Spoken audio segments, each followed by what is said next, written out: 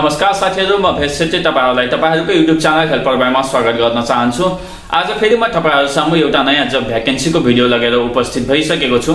आजको यस भिडियो अन्तर्गत रहेर मैले तपाईँहरूलाई कुन ठाउँमा कति सङ्ख्यामा कुन कुन पदहरूको लागि भ्याकेन्सी खुलाएको छ तपाईँहरूले आवेदन दिँदा आवेदन दस्तुर कति तिर्नुपर्छ यो भ्याकेन्सीको अन्तिम मिति कहिले रहेको छ। तपाईँले के के शैक्षिक कागजातहरू अपलोड गर्नुपर्ने हुन्छ र तपाईँले यी पदहरूमा कसरी सजिलैसँग एप्लाई गर्न सक्नुहुनेछ सम्पूर्ण कुराहरूको जानकारी दिनेछु यदि तपाईँहरू पनि यी सम्पूर्ण कुराहरू जान्न चाहनुहुन्छ र जबको खोजीमा हुनुहुन्छ भने हाम्रो यो भिडियोलाई सुरुदेखि अन्तिमसम्म हेर्नुहोला। भिडियोलाई सुरु गर्नुभन्दा पहिले भिडियोलाई एक लाइक गरिदिनु होला र च्यानलमा नयाँ हुनुहुन्छ भने च्यानललाई सब्सक्राइब गरिदिनु होला अब ढिलो नगरी हामी हाम्रो सूचनातर्फ लाग्नेछौँ। अब तपाईँहरूले यहाँ प्रदेश सरकार सामाजिक विकास मन्त्रालय सङ्क्रामक तथा सर्वरोग अस्पताल गण्डकी प्रदेशले खुलाएको भ्याकेन्सीको सूचना देख्न सक्नुहुनेछ।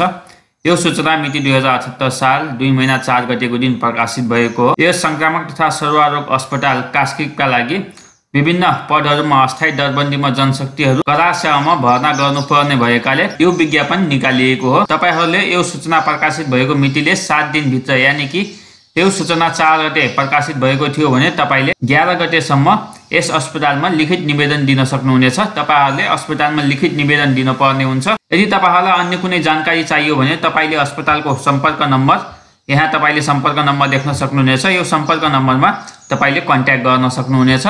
अब म यस अस्पतालमा कुन कुन पदहरूको लागि भ्याकेन्सी खुलाइएको छ त्यसको बारेमा जानकारी दिन गइरहेको छु। अब तपाईँले यहाँ पद तह मार्क सङ्ख्या परीक्षा दस्तुर परीक्षाको माध्यम तलब स्केल देख्न सक्नुहुनेछ। अब हाम्रो एक नम्बरमा पद चाहिँ स्टाफ नर्स रहेको छ यसको तह सहायक पाँचौँ रहेको छ। यहाँ टोटल पच्चिसजनाको सङ्ख्या माग गरिएको छ। स्टाफ नर्सको लागि तपाईँले पाँच सय रुपियाँ परीक्षा दस्तुर बुझाउनु पर्ने हुन्छ।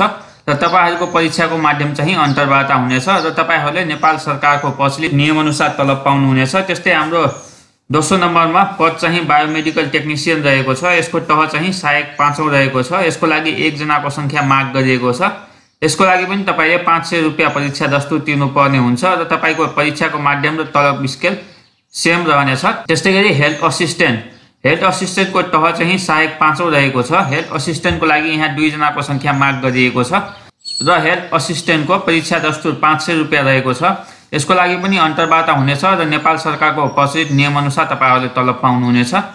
त्यस्तै गरी हाम्रो चार नम्बरमा पद चाहिँ एस्थेसिया सहायक रहेको छ। यसको तह चाहिँ सहायक पाँचौँ रहेको छ। यसको लागि एकजनाको सङ्ख्या माग गरिएको छ। तपाईँले यसको लागि पाँच सय रुपियाँ आवेदन दस्तुर अथवा परीक्षा दस्तुर तिर्नुपर्ने हुन्छ र तपाईँको परीक्षाको माध्यम अन्तर्वार्ता हुनेछ र तलब तपाईँले नेपाल सरकारको नियमअनुसार पाउनुहुनेछ। त्यस्तै हाम्रो पाँचौँ नम्बरमा रहेको छ मेडिकल रेकर्डर। यसको तह चाहिँ सहायक पाँचौँ रहेको छ। यसको लागि एकजनाको सङ्ख्या माग गरिएको छ। र तपाईँले यसको लागि पाँच सय रुपियाँ परीक्षा दस्तुर बुझाउनु पर्ने हुन्छ र तपाईँको परीक्षाको माध्यम अन्तर्वार्ता हुनेछ र तलबको स्केल तपाईँ नेपाल सरकारको प्रचलित नियमअनुसार पाउनुहुनेछ। त्यस्तै गरी हाम्रो छ नम्बरमा पद चाहिँ ल्याब टेक्निसियन रहेको छ। यसको तह चाहिँ सहायक पाँचौँ रहेको छ। र यसको लागि जम्मा यहाँ दुईजनाको सङ्ख्या माग गरिएको छ। ल्याब टेक्निसियनको लागि पनि तपाईँले पाँच सय रुपियाँ बुझाउनु पर्नेछ र तपाईँको परीक्षाको माध्यम चाहिँ अन्तर्वार्ता हुनेछ। र तपाईँले तलब चाहिँ नेपाल सरकारको प्रचलित नियमअनुसार पाउनुहुनेछ। त्यस्तै गरी सात नम्बरमा हाम्रो पद चाहिँ फार्मेसी सहायक रहेको छ। यसको तह सहायक पाँचौँ रहेको छ। यसको लागि पनि दुईजनाको सङ्ख्या माग गरिएको छ। र यसको लागि पनि तपाईँले पाँच सय रुपियाँ परीक्षा दस्तुर बुझाउनु पर्ने हुन्छ। यसको परीक्षाको माध्यम अन्तर्वार्ता हुनेछ र तपाईँले नेपाल सरकारको प्रचलित नियमअनुसार तलब पाउनुहुनेछ। त्यस्तै गरी हाम्रो आठ नम्बरमा पद चाहिँ कार्यालय सहयोगी रहेको छ। यसको चाहिँ श्रेणीविहीन रहेको छ। यसमा जम्मा चारजनाको सङ्ख्या माग गरिएको छ र यसको लागि तपाईँले दुई सय रुपियाँ आवेदन दस्तुर बुझाउनु पर्ने हुन्छ। तपाईँको परीक्षाको माध्यम अन्तर्वार्ता हुनेछ र नेपाल सरकारको प्रचलित नियमअनुसार तपाईँले तलब पाउनुहुनेछ।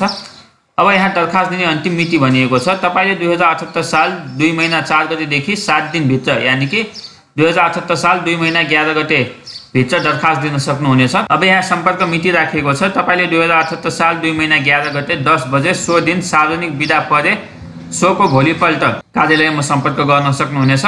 अब तपाईँलाई विभिन्न पदहरूको लागि न्यूनतम शैक्षिक योग्यता कति चाहिन्छ र के के कागजातहरू आवश्यक पर्छ त्यसको कुरा गरौँ। स्टाफ नर्सको लागि तपाईँले नेपाल नर्सिङ काउन्सिलमा दर्ता भएको प्रमाणपत्रको प्रतिलिपि पेस गर्न पर्ने हुन्छ।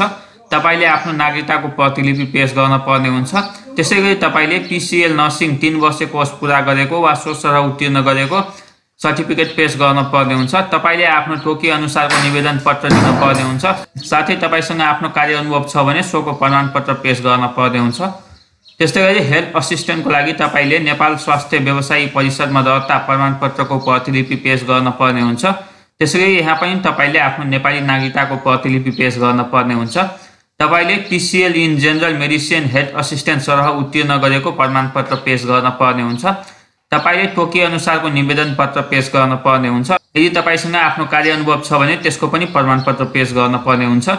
मेडिकल रेकर्डरको लागि तपाईँले तथ्याङ्क वा गणितमा स्नातक उत्तीर्ण भएको प्रमाणपत्रको प्रतिलिपि पेश गर्न पर्ने हुन्छ र नेपाली नागरिकताको प्रतिलिपि पेश गर्न पर्ने हुन्छ।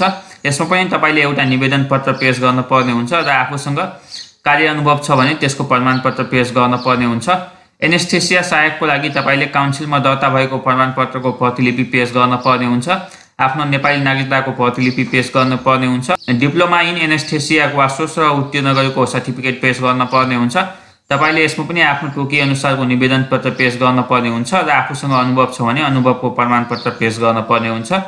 त्यसै गरी बायोमेडिकल टेक्नोसियनको लागि भनिएर भनिएको छ। काउन्सिलमा दर्ता भए सो वा सोको प्रमाणपत्रको प्रतिलिपि पेश गर्न पर्ने हुन्छ। तपाईँले आफ्नो नेपाली नागरिकताको प्रतिलिपि पेश गर्न पर्ने हुन्छ।